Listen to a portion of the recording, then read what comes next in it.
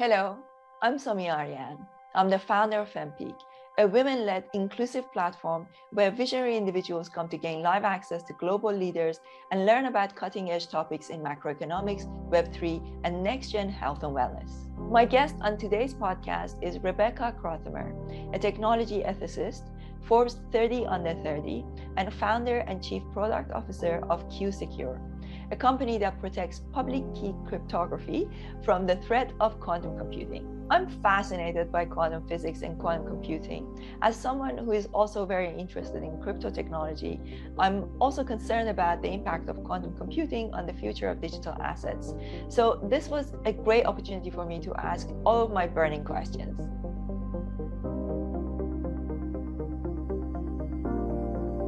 Let's go with uh, just a a little introduction first, you know, um, talk a little bit about who you are and how you got into uh, your your journey into tech. Were you always a genius? oh man, genius is very very much a stretch. Uh, but I um, I started out well when I was little. I really wanted to be a doctor because I um, I traveled a lot with my family when I was little, and I was super lucky to be able to do that. And uh, I wanted to be a doctor because I wanted to be able to, it was kind of like the, the help people type of job. Uh, and then I got into college and I took chemistry and I was like, oh no, I don't think I can do this. chemistry is really hard.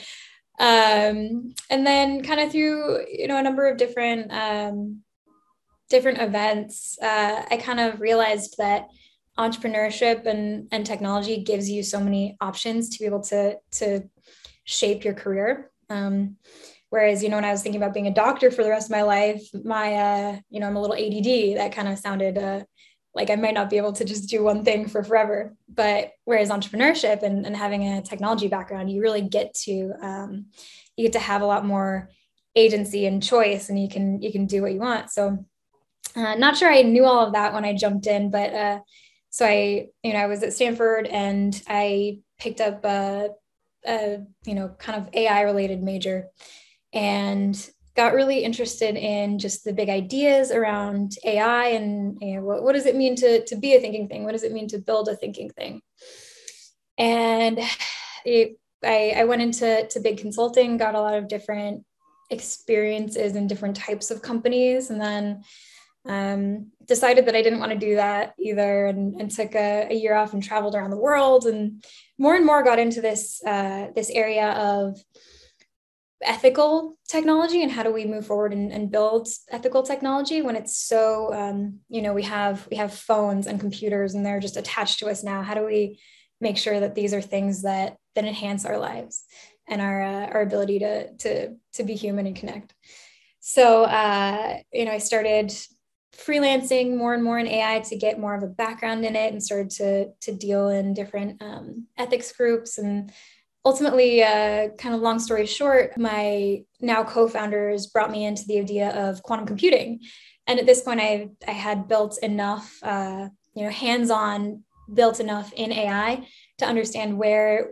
Uh, where our limitations lie, especially in terms of you know training big models and, and doing things with the hardware we have today. So quantum computing came onto my radar and it was like, oh, I have to do this. This is, you know, it became the mm, very clearly the next step on uh, in in computing for me. So uh, we started Quantum Thought, and Quantum Thought is a venture studio that uh, it's really kind of like a startup of startups. Uh, so you fund ideas in the quantum computing space, and uh, it's been a really fun road the major company that came out of that has been QuSecure, which I now kind of spend most of my time on as the, the co-founder and, and chief product officer.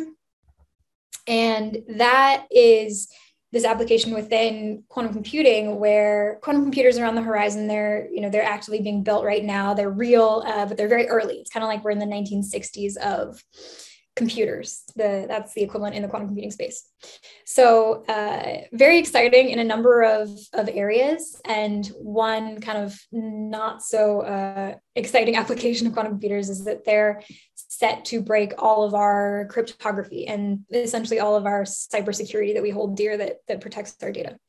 So what we do at QuSecure is we build software that protects data networks and data infrastructure from uh, from those type of attacks, as well as other sort of breaches that um, that are taking place right now.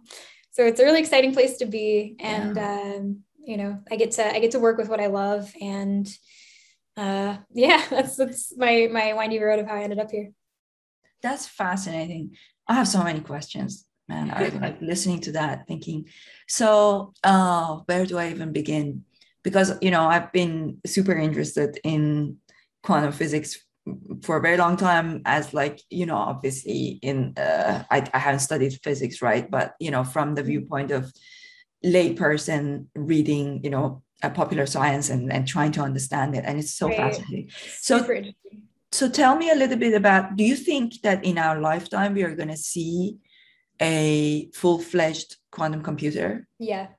Yeah. Wow. i would say i'm i'm fully convinced uh i think it'll probably be more in the next next decade uh, so whereas we're in the you know the 1960s of quantum computing we have tools that they didn't have at the time to advance and and uh, bring these things online faster and better than we did then. So, for example, we have machine learning to understand what is going right and what we could do better. Um, we have a bunch of technology to help us build this stuff, and it's it's a huge technology problem, and it's a huge kind of science challenge to to do this, um, which is a whole other cool part of this, right?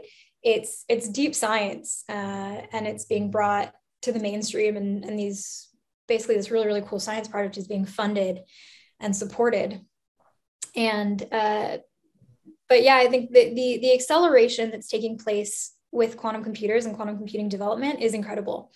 Uh, several years ago you know we we it was more kind of theoretical and we'd had single-ish qubits devices. Uh, and a qubit is you know for for anyone who's not familiar with it it's kind of like the it's analogous to the computing bit. Uh, so our computers work on ones and zeros and the qubit is is that sort of equivalent for a quantum computer but it it uses weird quantum physics to be able to um, hold different logic states at once. So you can do different things with a quantum computer uh, like solve massively variable intensive problems that you can't on regular computers because they don't scale like quantum computers do. And so yeah. Yeah yeah so, so essentially sorry to interrupt. So let me try and see if I understand that because essentially in quantum physics, what makes it really unique is that we're saying that two things could happen at the same time, right? That one mm. thing could be in more than one state at the same time, right?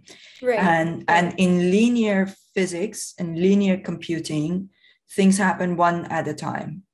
So what quantum uh, computing does is that it's able to hold more than one logic at a time. So so it's not like if this then that.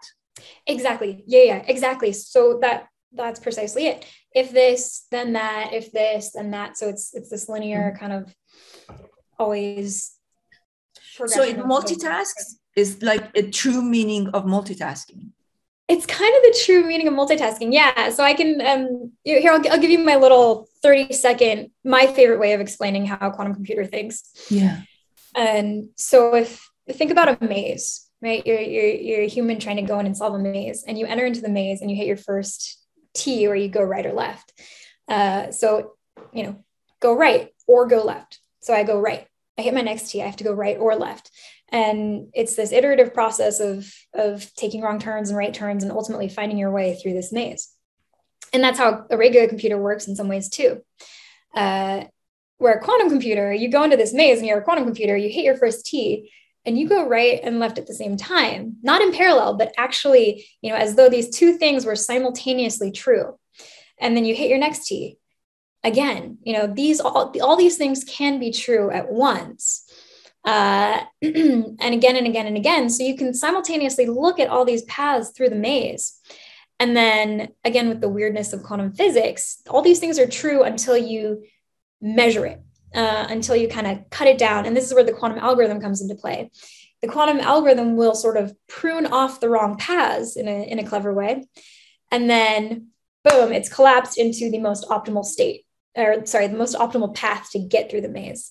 So that's exactly right. You can look at all of these, you can hold all these ambiguities and all these different things in uh, simultaneously at once in a way that we um, you know in in the logical kind of binary realm we, we can't we can't do that so is that the decoherence when mm. the when the thing collapses into one reality is that what it called what what they call decoherence ah, so almost the, the decoherence part is um well the decoherence is typically something that we're trying to fight against and that's one of the mm. reasons like we are um one of the challenges to building a big quantum computer is that typically qubits are, are little particles and they're pretty sensitive. And so they can hold these states and it, it's a challenge to get them to hold these states properly. So sometimes they decohere they sort of start falling apart. And so that's why we don't right now one of the reasons we don't right now have a, uh, a huge scale quantum computer that can do really really awesome stuff um, is that's one of the pieces that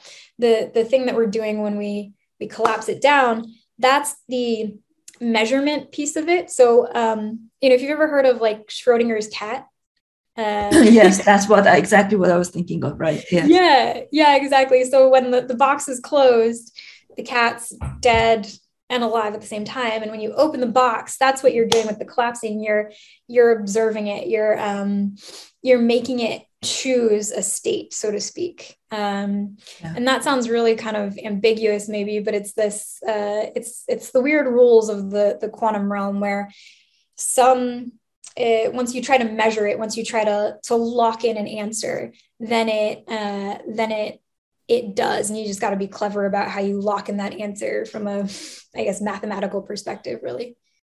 Yeah, no, super fascinating. So the way that I came across you was because of my interest in blockchain, and I was looking at mm-hmm. you know various companies that are working in this area.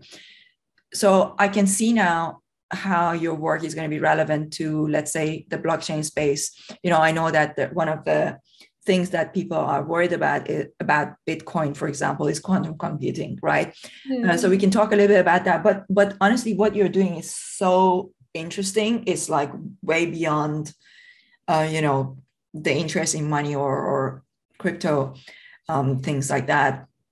Uh, you know i always have this this image when i'm trying to kind of understand what life is right? That is like these bubbles of prob- probability and mm. then and then uh, you know with every action that we take one of those bubbles you know burst you know kind of like the uh, the, the, collapsing of what you're, you're talking about that's what life is right? Like that we are we are constantly in these states of um, you know possibility or probability and then and then with every cho- choice that we make so many different op- opportunities are possible. And maybe maybe yeah. in another another parallel universe you know uh, my parallel me is taking another path. Yeah no that's beautiful yeah so like so that. so going back to the cryptography uh, issue so so tell me are quantum computers um, a real threat to uh, you know the cryptocurrency uh, and what what are being done uh, to mitigate that yeah so um the answer is is yes and kind of in the form that they're in right now so we have quantum computers that are you know, we've got about 100ish qubits the the place that we need to get to for quantum computers to be be able to break through um, something like like RSA, which is not you know not exactly blockchain, but uh, that's around 4,000 error corrected qubits, um, which actually means quite a bit more than 4,000 because you need a number of qubits per a number of what they call physical qubits per logical qubit. And so um, so we need to scale up to many, many thousands of qubits to get to that place where it's it's just done breaking. And and in theory, once we get to this place, yes, blockchain um, is definitely at risk of being cracked by by a quantum computer, if not sort of in a in a place where it's definitely going to be cracked by that quantum computer. So what we can do though is there's new algorithms that are being put out by the um, the, the National Institute of Standards and Technology. Uh, and those algorithms are sort of a new type of math that, uh, and it's not quantum math, it's, it's really just like classical math that's a little different from the algorithms that we use today to encrypt things. And so what we're, and what we work on is, is incorporating those into systems and software to um, so th- those mathematical algorithms encryption algorithms are safe against today's computers and quantum computers. So you can overlay existing structures with um, the help of those algorithms to protect against quantum attacks. And kind of the cool thing is that they don't you don't need a quantum computer to be able to implement these protection algorithms. You can do it before that big quantum computer comes online. And uh, the reason you might want to do that is because there's this idea of store now, decrypt later, where say you are a financial institution, uh, you know, you're, you're a bank, and you have sensitive information, bank account numbers, social security numbers, you have all this stuff that you don't want to get out now or in five years from now, or probably in 10 years from now. And so um, if a hacker or a bad actor kind of is able to harvest a database, an encrypted database or data source, they um, this store now decrypt later strategy is I'll take this and then I'll wait until I have the power to, to decrypt it and then I'll you know, leak this data or do whatever I want with it. Uh, so that's kind of the, the situation that we sit in now with quantum computers is they're very much proven to be able to break things like what we're talking about. And if data is intercepted in some way, even though it's encrypted now, it's it will be decrypted at a certain point in time when that quantum computer comes online. So long story short, it needs to be protected now to prevent it, prevent that from happening. So if it is harvested in the near future, then uh, then that data won't be leaked, if that makes sense. Yeah. So are you aware of, let's say, something like Bitcoin, whether these types of measures have been mm-hmm. um, uh, put in place? So, well, so for the most part, they have not yet. And we're working, we're actually working with a large financial institution. They have a, um, they have the, a crypto fund. Mm-hmm. And so we're actually working with them to secure some of the, the activities and things that happen around that. Um, we're working with another blockchain company to, again, add this extra layer of security for them.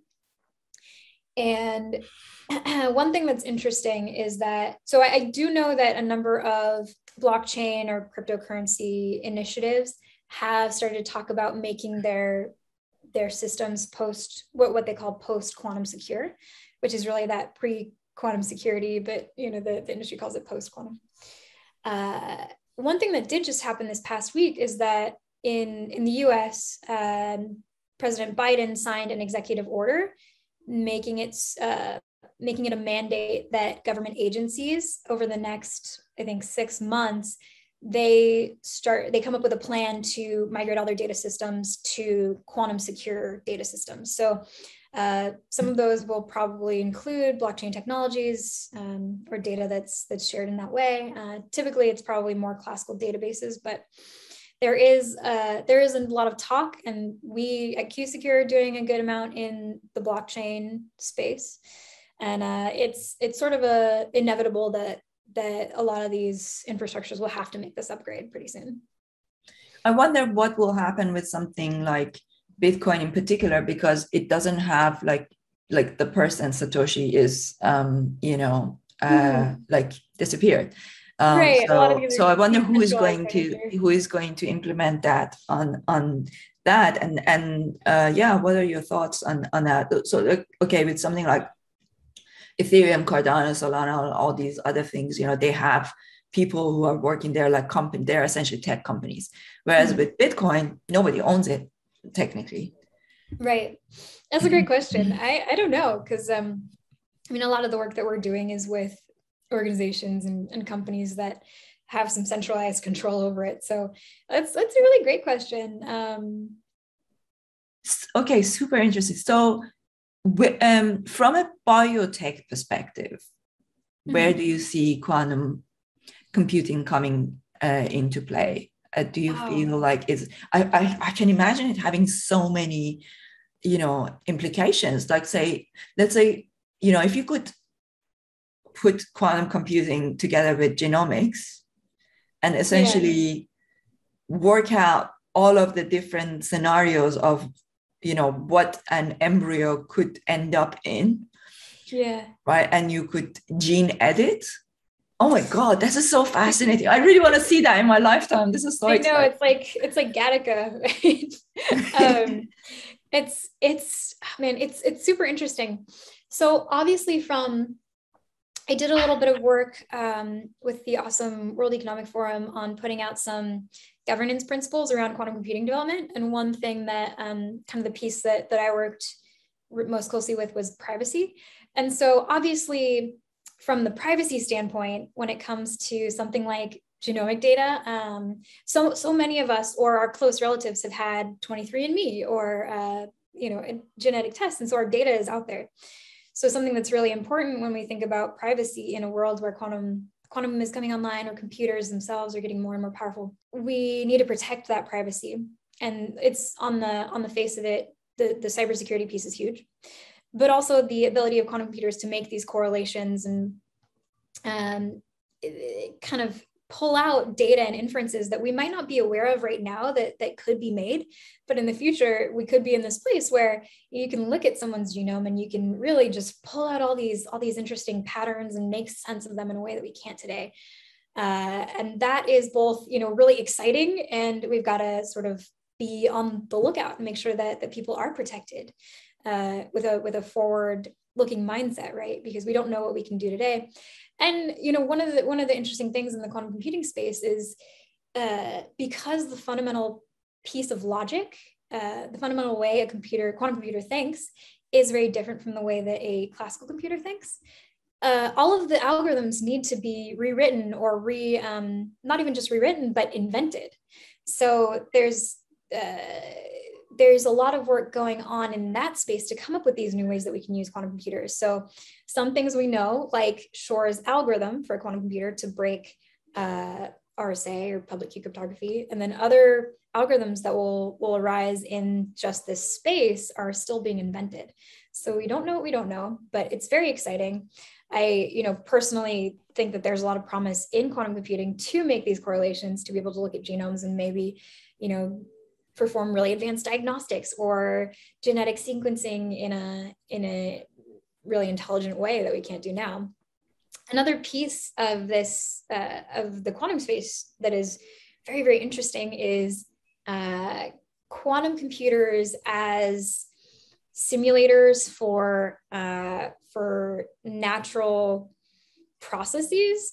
So um, what they call kind of chemistry simulation, and it's when you think of something like drug development, there's years and years and years that go into research and development for, for a given drug because you have to experiment um, with how certain compounds and chemicals work together.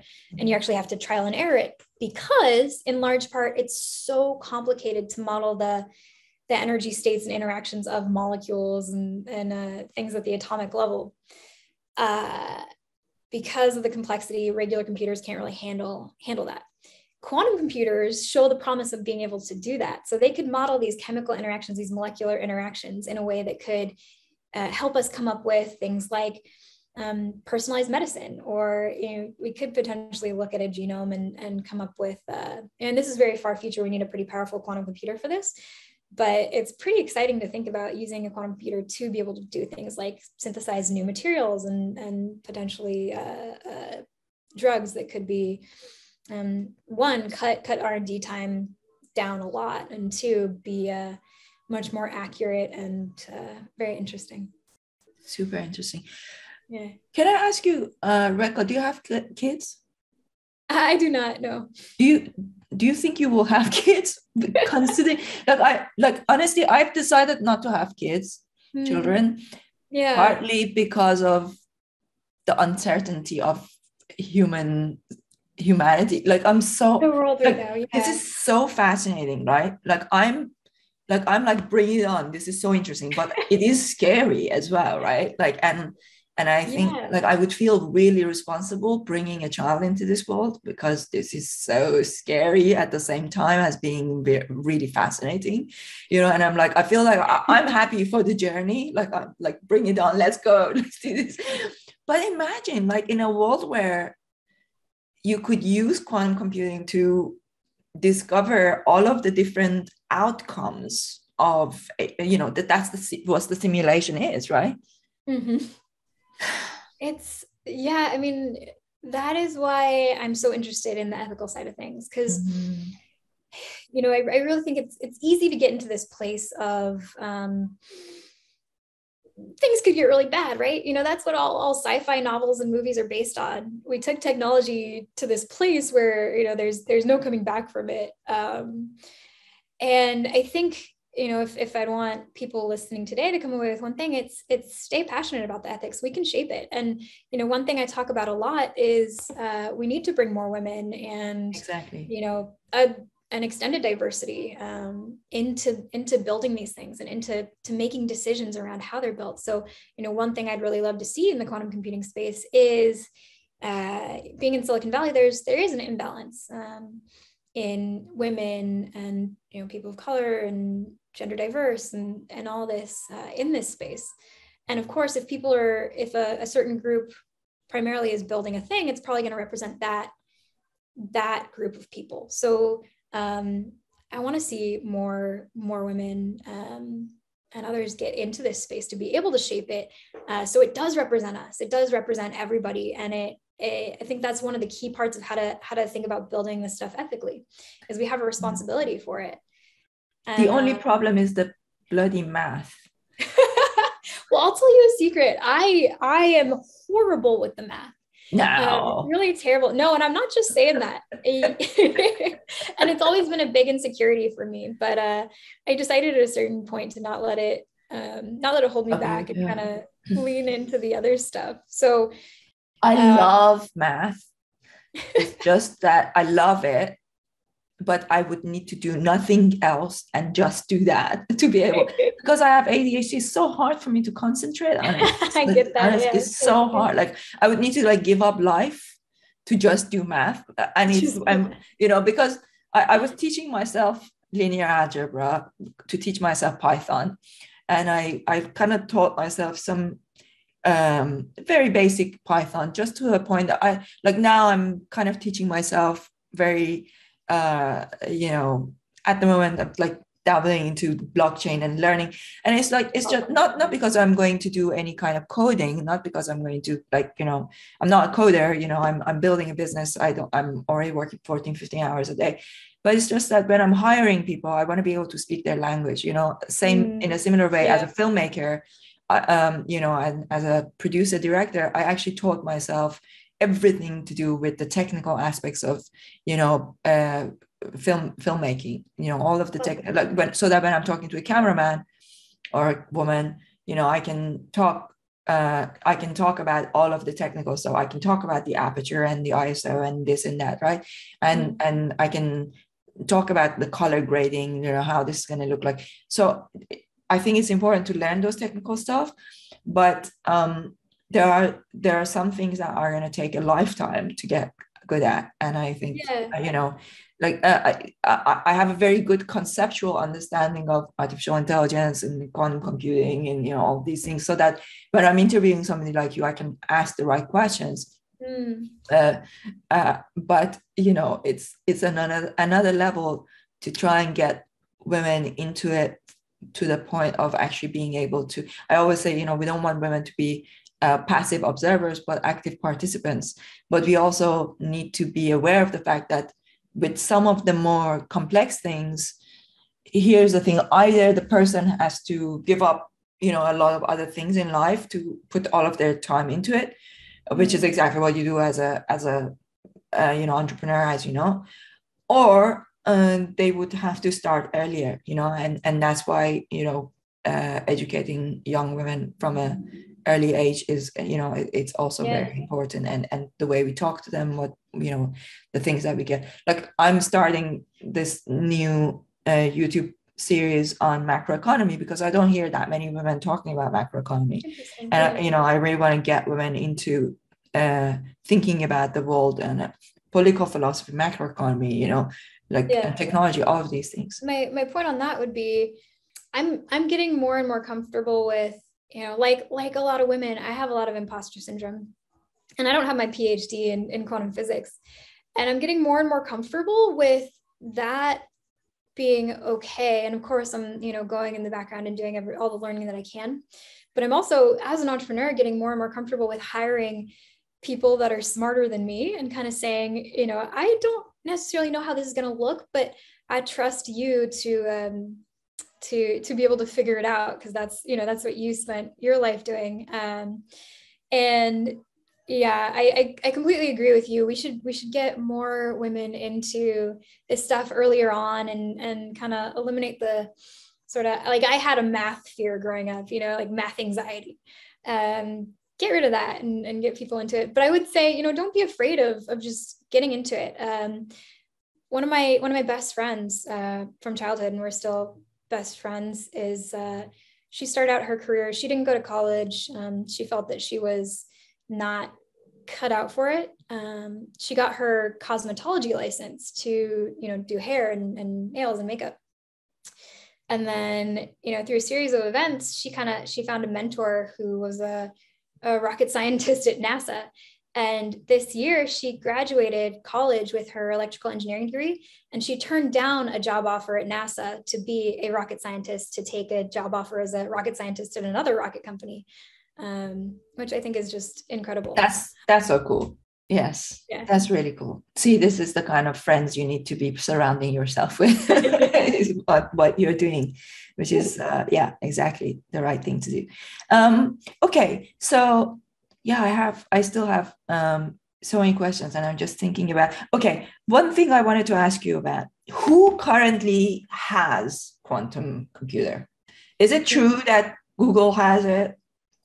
So good question. Uh, yes. So Google has a team that's working on building a quantum computer and they uh, again it's a very early stage one but i think in at the end of 2019 they announced quantum supremacy so this was a huge deal and what it meant was they used their quantum computer to solve a problem that would have taken the world's most powerful supercomputer uh, 10,000 years to solve. And I think they solved it in like three minutes with their quantum computer. So huge deal. It was the first time we were able to prove, like in practice, that a quantum computer could just demolish uh, or do something that was quote unquote intractable or not really possible with classical computers. And so that's super exciting. They're not the only ones. Um, I think uh, so. A lot of the big tech companies have quantum computer initiatives. So Microsoft, they're trying a there's a lot of different ways and theories about how to build a quantum computer. So Google's doing it one way. Microsoft is thinking about it a different way using like a different particle and architecture.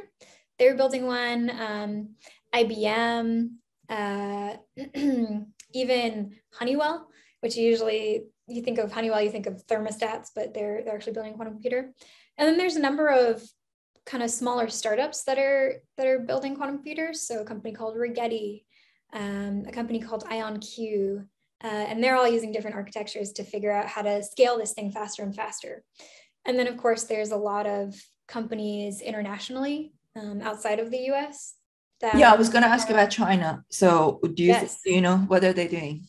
Oh, that is a great question. Um, actually a, a uh, recently that's been a lot of what we've been talking about is is what China's been doing around it. Um, publicly, China has spent about $15 billion on their quantum computing initiative.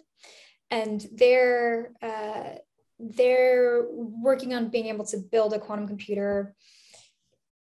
They've put a lot of faith and a lot of eggs in this basket, whereas you know the U.S. has spent about a billion to two billion dollars, and then you know the, the EU has spent some money, and China by far has put the most into it. Um, and so it's they're a little more sort of secretive and they don't put things out there as much publicly. Very worrying. It is, yeah, definitely from a cybersecurity pers- uh, perspective, right? Uh, so, you know, some of the work we do is with um, the the government, the U.S. government, and it's something that they are very concerned about. So, if China, you know, gets that that really powerful quantum computer first from a cybersecurity perspective, um, we need to be prepared for that. so yeah, they, it is a bit more secretive the initiatives that they have going on in China. Um, they published a number of papers. I think they also had a, a quantum supremacy paper. But yes, it's definitely um, it's definitely a bit of a like interesting international competition right now. Um, yeah, really, really putting a concerted effort towards building that really powerful quantum computer. Yeah, super worrying. Yeah. So, what do you think will happen to the future of jobs with this uh, quantum computing being you know mm-hmm. like because if if computers can do everything better than us you know if even if you think of like what would be the ultimate role of humans would be just to go to the metaverse and play games you know? Like but computers could do that even even that they could do it better than us. So mm-hmm. what uh, what would be the role of of humans? They could play games better than us. Yeah.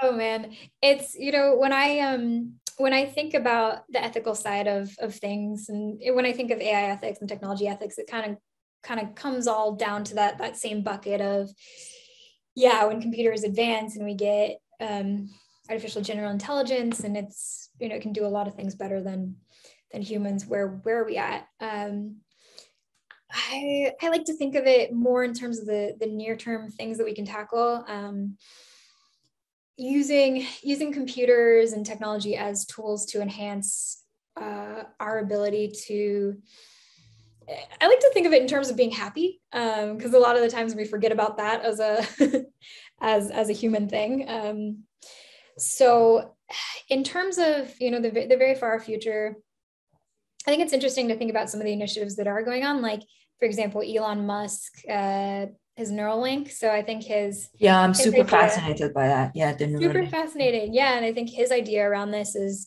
you know you you get around that problem by sort of integrating our brains with computers, and then you know we are the we have that capacity. It doesn't escape us, sort of thing.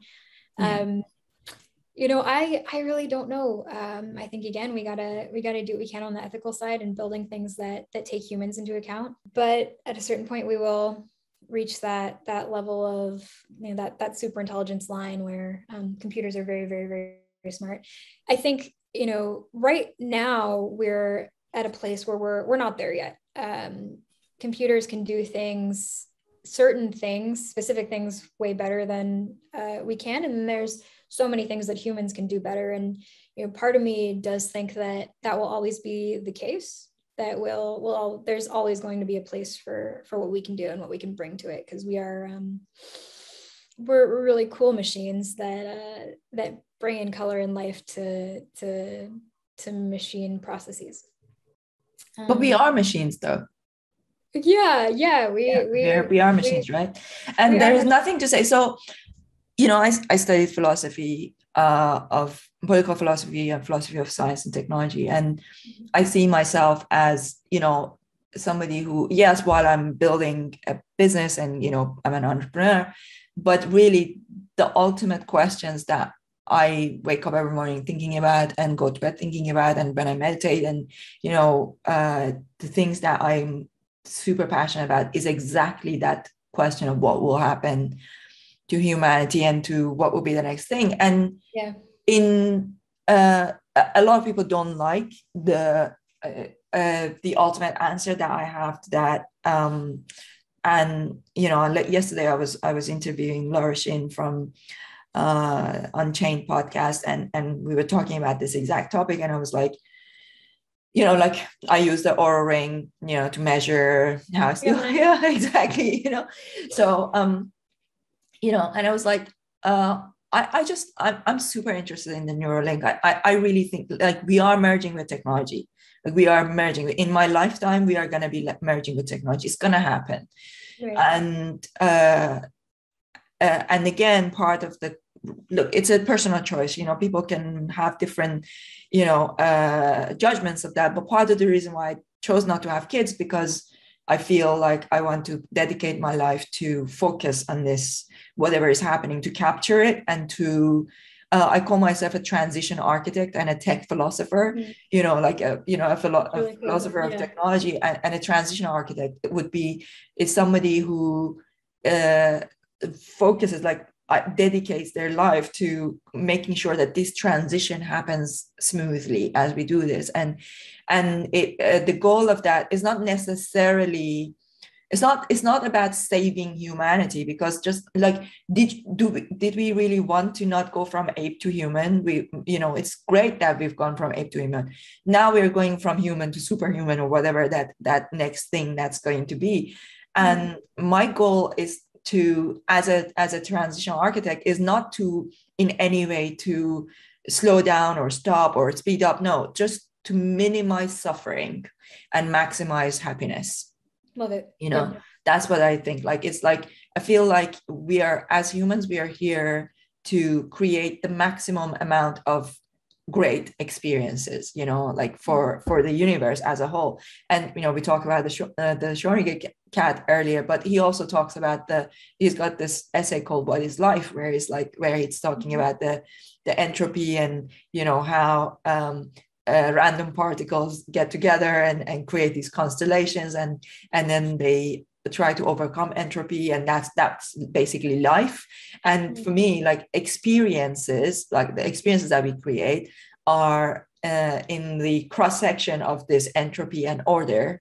And um, and uh, every time you are um, evolving into something new you are going to go through a kind of a growing pain essentially.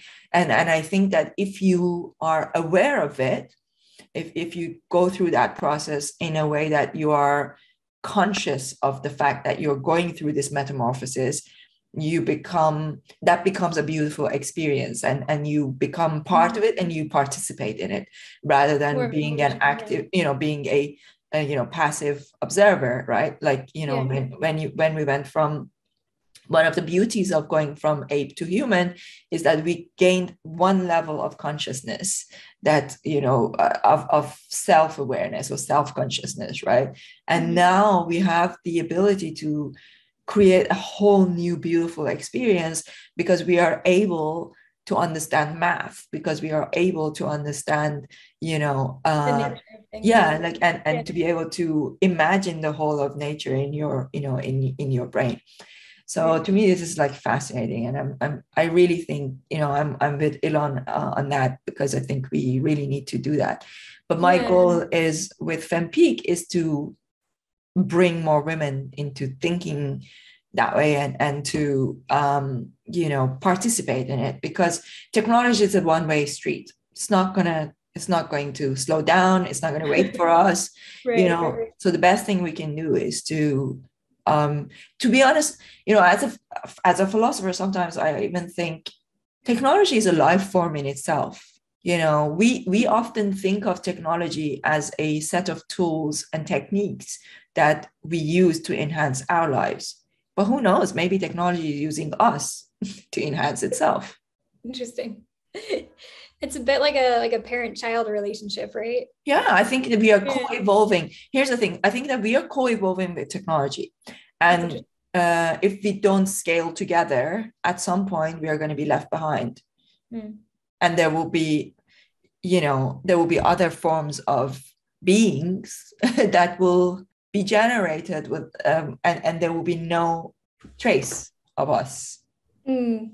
Right. And and and and the beauty of it would be if we could become part of this process, so we would, uh, you know, a trace of humanity would remain. Right, right. Well, and I think you know, I I love everything that you're saying, and I think part of the to pick out the piece where you're talking about understanding the nature of things. Um, one of the cool things about where technology and science are going, and you know, and, and part of this is quantum computing as well. It will reveal more and more the nature of things, and I think to be able to understand how to leverage and integrate with technology in, in a conscious way, we have to really understand what um, you know what it is to be a thinking thing, what it is to be a human, what what humanity really is, and how we how we uh, I guess you know how we optimize it in a sense, um, how we how we become more uh, better, fuller humans. Um, yeah.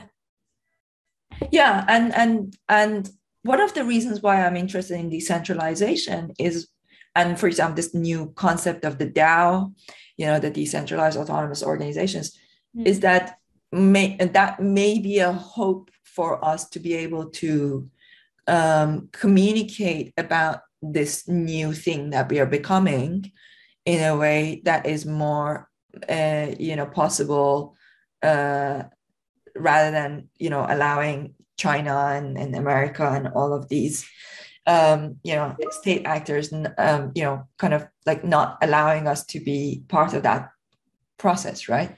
So so um, yeah i think there's no better place to to stop uh, to uh, you know to to bring the conversation to an end. So so yeah. um yeah awesome. Well i love it. Yeah. Well thank you so much for for your work. And um and we've we've got such a big hill to climb in technology and and bringing more and more women into this space and and bringing i guess just conscious development and thought and uh, and architecting into it. And i love that. And it's it's really really really important work. Amazing. Thank you so much I appreciate your time. Cheers.